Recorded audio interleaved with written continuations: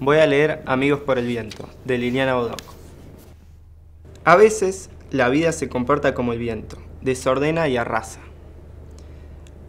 Algo susurra, pero no se le entiende. A su paso, todo peligra hasta aquello que tiene raíces. Los edificios, por ejemplo, o las costumbres cotidianas. Cuando la vida se comporta de ese modo, se nos ensucian los ojos con los que vemos, es decir, los verdaderos ojos.